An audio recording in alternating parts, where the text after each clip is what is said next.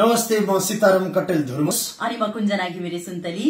धुर्मुस सुन्तली फाउन्डेसनले निर्माण गर्ने गौतम बुद्ध अन्तर्राष्ट्रिय क्रिकेट रङ्गशाला निर्माणको सहयोगार्थ मलेसियामा हुन गइरहेको सिटी एक्सप्रेस धुर्मुस सुन्तली साँझमा भाग लिनका लागि हामी मलेसिया आउँदैछौ।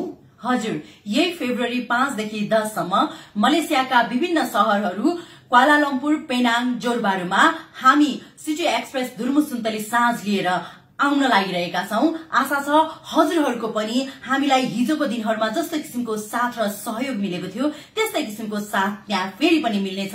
हाम्रा सम्पूर्ण नेपालीहरूलाई हामी हृदयदेखि नै धन्यवाद दिन चाहन्छौ। आज पनि आजसम्म जति पनि हाम्रो अभियानमा साथ दिनुभएको छ जोडिनु भएको छ सम्पूर्ण नेपालीलाई थ्याङ्क यू भन्दै हामी भन्न गइरहेका छौं।